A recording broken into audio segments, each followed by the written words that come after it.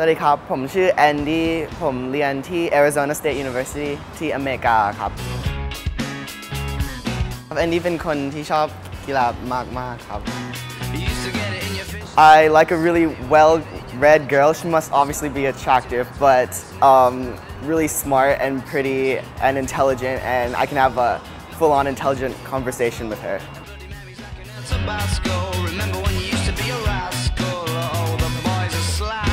The best you